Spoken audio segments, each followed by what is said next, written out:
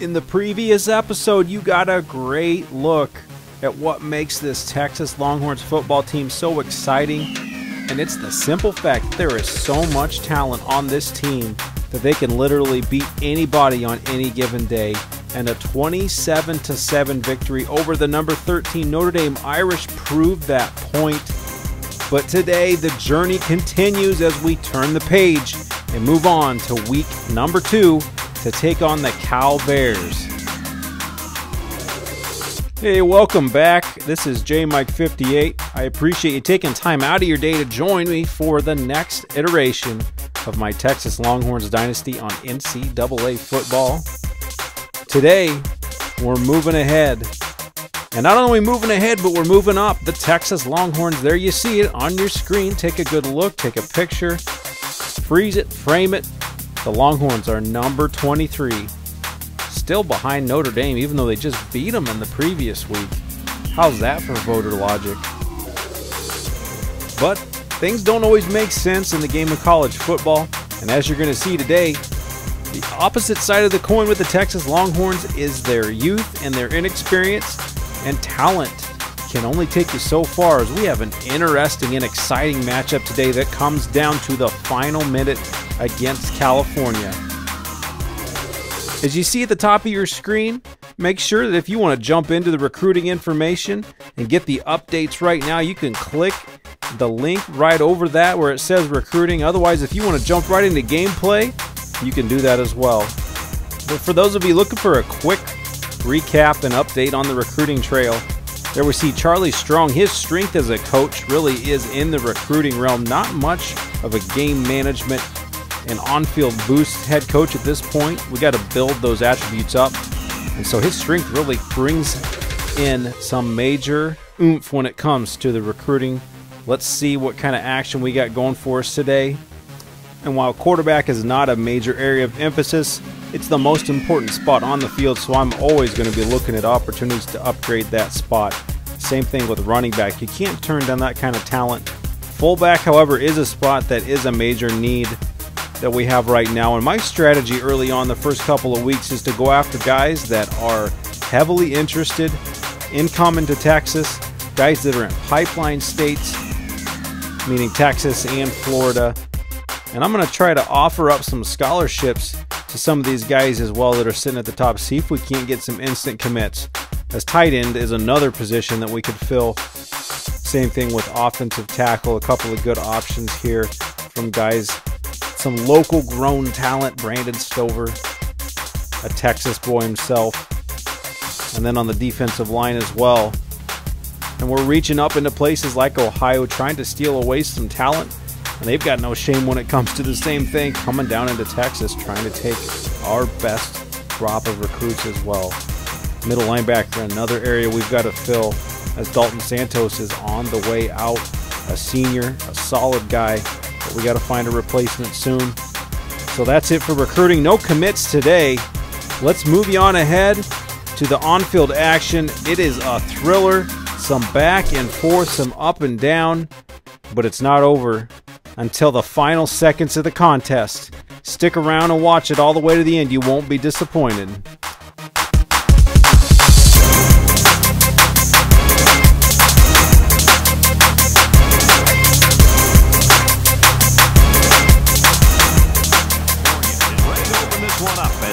For the opening kick.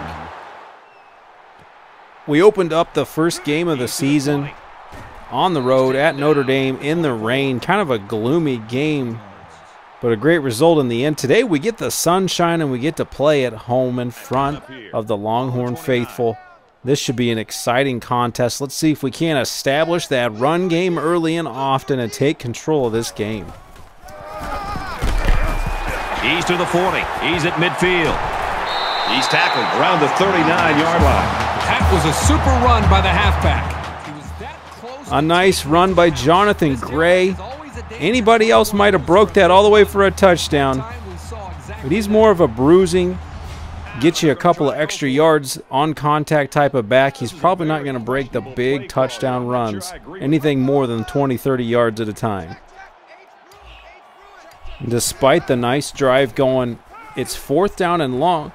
Going for it. Oh, and they can't pick it up. It was that in between spot. A little too long for a field goal.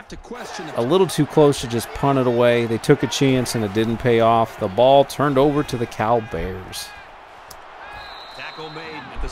And they have no problem moving the ball down the field themselves in a hurry. Cal likes to no huddle, picking up the crucial third down, first and goal. Goff takes it, pitches it out. That's going to be an easy touchdown. The Texas Longhorns are facing an early deficit. Daniel Lasco with a touchdown. The Longhorns don't know what hit them. But they respond back, move the ball down the field again. This time on third down, he can't get the pitch off. Tyrone Swoopes, just not quite aware of what's going on. Had a guy there. The DN committed to him, should have pitched the ball. Going to bring up a long field goal attempt. Let's see if we can't turn that goose egg into a three-point spot, and he shaves the paint off the inside.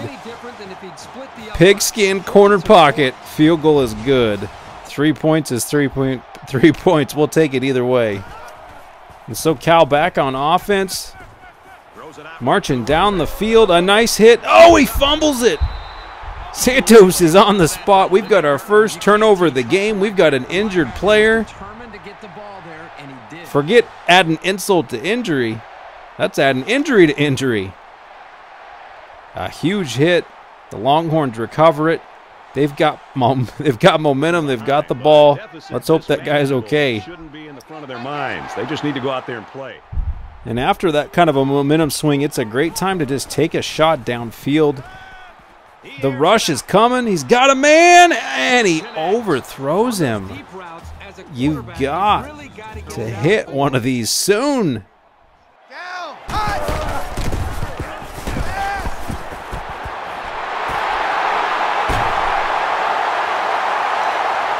And he scores. And the freshman, the same man that plowed a dude and made him flip end over end against Notre Dame, Devonaire Clarington, strikes again. It's a good thing the NFL can't have him for a couple years because he is looking like an All American. He is looking like a Mackey Award finalist already. A quick two-play, 52 yards. So Texas took the 10 to 7 lead. Not a lot happened throughout most of the second quarter, but watch out for the last three minutes here. There's Cal striking for a touchdown, taking the lead back 14 to 10. But there's still a lot of time and a lot of action to be had here.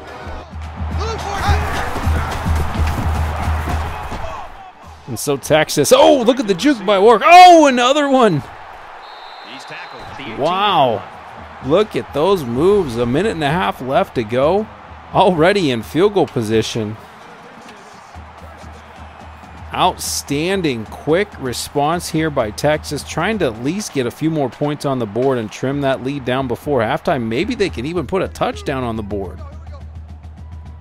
Yeah, let's try something a little unconventional. A little tunnel screen. Oh, that almost got picked, but it's a touchdown. Texas is back on the top. Make it 17 to 14 after the extra point with only 40 seconds left in the half.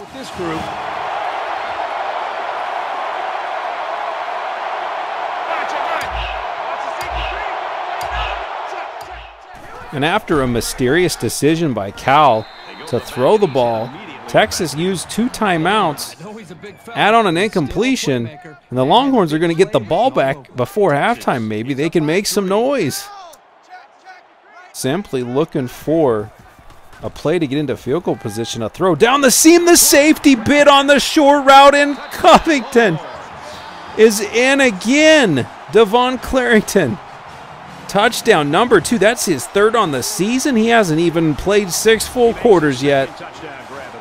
What a huge swing.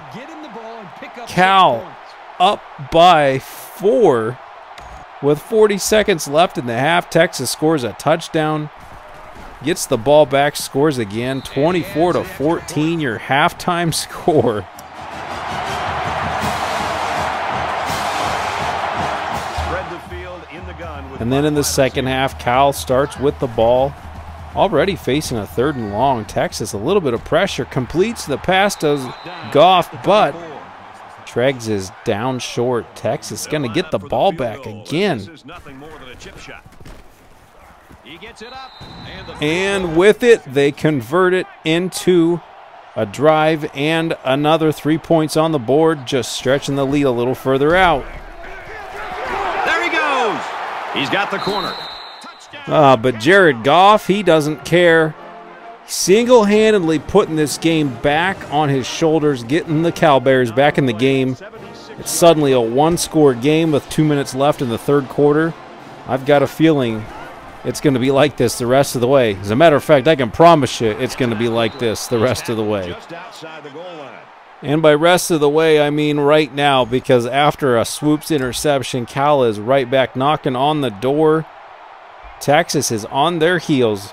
As hot and fast as they finished the first half is as fast as they've fallen. And Goff is in with another rushing touchdown. Would somebody stay on the perimeter to stop the read option? The Bears are going to be up a point after this extra point. And he converts the extra point. And just when you thought things possibly can't get any worse, Swoopes goes out, throws another interception, and Goff wastes little time putting another touchdown on the board. This game went from well in the hands of the Longhorns to completely upside down.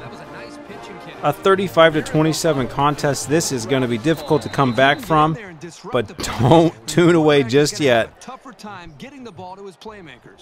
And while time's passed, Cal got another interception and a field goal. The Longhorns answer back. They've got to put some kind of points on the board to make this a possibility. Throw up another field goal of their own. Time is ticking away. There's less than three minutes to go. And a crucial stop for the Longhorns. But unfortunately, Cal is still in field goal range. It's an eight point game right now. If this thing goes through the uprights, it might be impossible to come back from this deficit.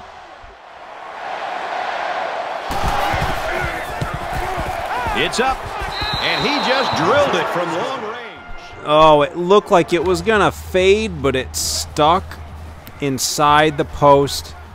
An 11 point Cal lead. Two minutes left to play. Can we make the miraculous comeback? He heaves it deep. Doesn't get there. In the desperation, he falls to the turf. But yet again, Cal gets the ball back, and we force him to punt with a minute left in the contest. There's still a slim chance that the Longhorns can come back in this game.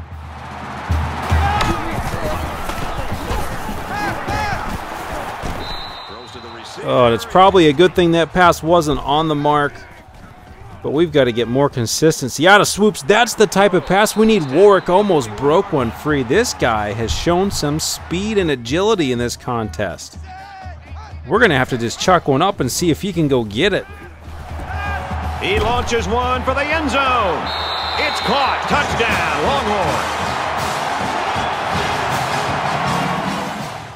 Oh, and Jacorey Warrick gets behind the safety who looked like he stepped up to squat on an out route.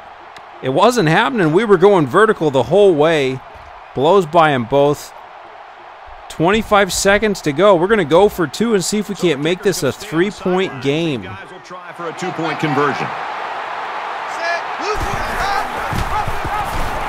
They got it. So Gray punches it in. It's not likely, but we've got a shot. The onside kick. I've never executed one of these before. Today could be the day. Texas lines up with their hands team on the field. If they don't get the ball, then this one's in the books. And he's taken down. Well, we gave it a shot, made a valiant effort to come back. Too many mistakes on defense. Probably too many mistakes on the offensive side, too, not running the ball more when we could have just managed the game that way. Swoopes may not be the best option going forward at quarterback. And meanwhile, we've got some great options at tight end and also Warrick showing his face in this game. So there's plenty of hope. Again, this wasn't going to be a team that would likely contend for a championship in this season, but I hadn't expected this type of a loss this early in the year. This is a tough one to swallow. We're going to have to try to regroup and recover from this, and it's not going to be easy. But either way, I'm ready to bounce back in a big way in the week three contest against Rice. That should be a great opportunity to regroup and really solidify our plan moving forward on the field and hopefully get some positive results on the recruiting trail as well. So, once again, thanks for joining me today and check back soon. I'll see you in the next episode.